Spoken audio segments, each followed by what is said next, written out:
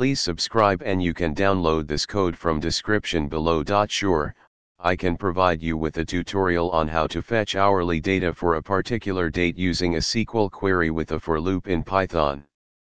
For this example, I'll assume you are using a relational database like MySQL and the MySQL connector Python library for Python. Make sure you have the MySQL connector Python package installed. You can install it using the following command. Assuming you have a table named your underscore table with columns timestamp and value, where timestamp is the date time column, make sure your database connection details are correctly configured.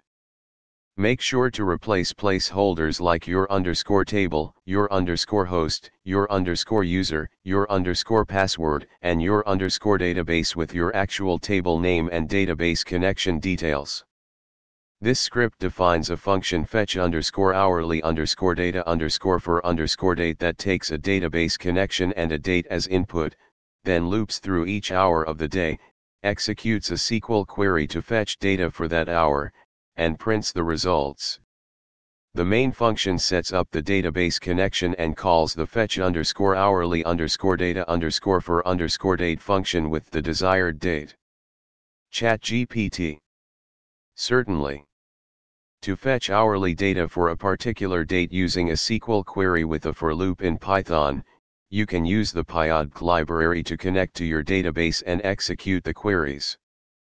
In this example, I'll assume you are using SQL Server as the database and will use the pyodbc library for the database connection. Let's assume you have a table named your underscore table with columns timestamp underscore column and data underscore column. Here's a step-by-step -step tutorial. Make sure you have the pyodbc library installed. You can install it using Replace the placeholder values in the connection parameters with your actual database connection details. This example assumes a simple scenario, and you may need to adapt the SQL query and processing logic based on your specific database schema and data requirements. ChatGPT